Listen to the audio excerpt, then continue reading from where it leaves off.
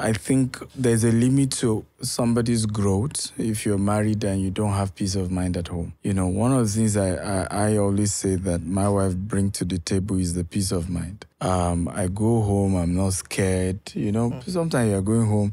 I, I tell people that whatever challenge I've battled with in the office, in business, when I go to that home, it's my safe space. Mm. Right? My mm. kids, Cute. my wife insists my kids rush. My daddy, they are shouting, they are hug- They want to even pull you down. They inject new energy, new life to you.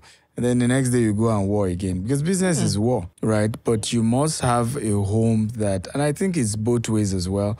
Uh, everybody has to do their part in making sure that the home is a place where your spouse can be happy. Yes. Uh, whatever is the definition of happiness to your spouse, you must give it. Because sometimes we, we think, oh, I've given you money. And sometimes that's not what the person is looking for.